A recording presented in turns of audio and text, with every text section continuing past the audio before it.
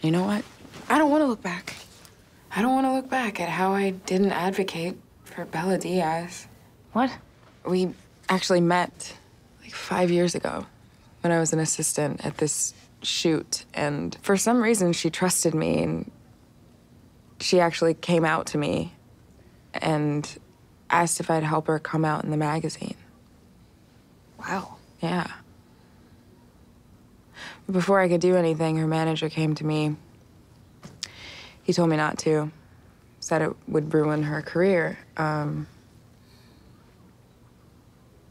so I just said nothing.